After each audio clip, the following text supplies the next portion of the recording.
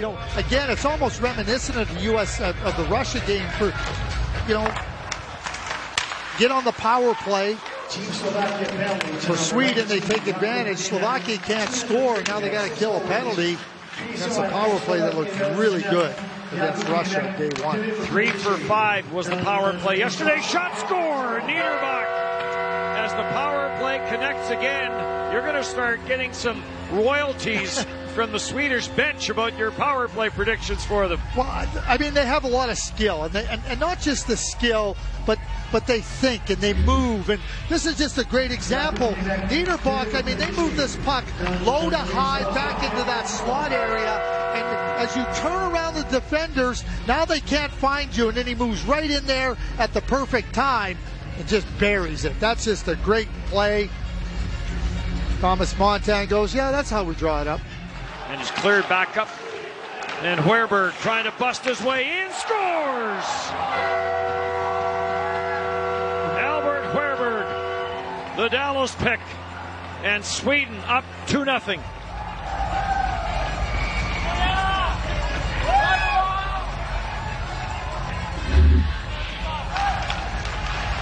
Quickly, the Swedes go the other way, and you know this is just such a poor play by Dennis Bakala.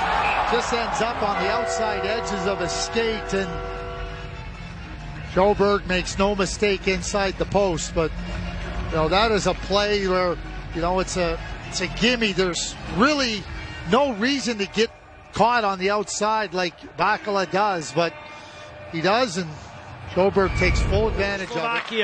Jelichka heads to the front of the net. Mikluka walks it in. The shot rebound. Oh, what a save by Jesper Wallstedt off of Chromiak. As it got deflected away.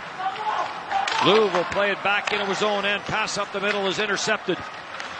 And right back in. Oh, high hit there from Louvre on Nemec. And then Petrovitsky goes after Louvre. This may be more than two.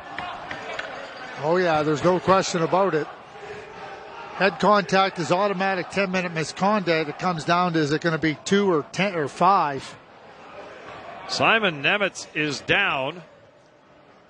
And Louvre to the penalty box. Chromiak will take it up top, lets it go, and that's blocked. You're not going to beat Wallstedt from there. Konashko walks it in, sends it down to the goal line. Kashlik will play it back. Konashko, Chromiak takes a look, doesn't shoot it.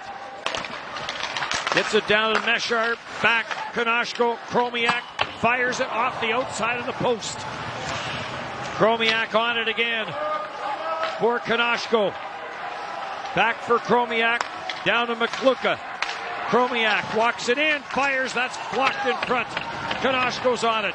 Back to Chromiak, that's blocked. Loose puck in front of the net. Terrific penalty killing by Emil Andrae. Konashko, Chromiak wires another one. And Andrae, or perhaps Bolstad, got a piece of that. And now a one-man advantage. And this gets cleared to Chromiak comes out. Shot went wide. Sharp angle try off a leg. And this is grabbed off and cleared out at center.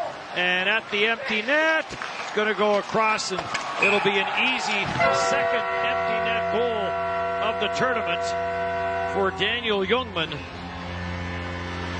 And that will put this one to bed for Sweden. Slafkovsky plays it back for Nemec. And Nemec with the long lead pass. Fight will carry it in. Knocked off his stick by Granz. And this one comes to an end. Two shutouts in the SHL for Jesper Wallstedt, and he stops 48 of 48 for his first World Junior Championship shutout.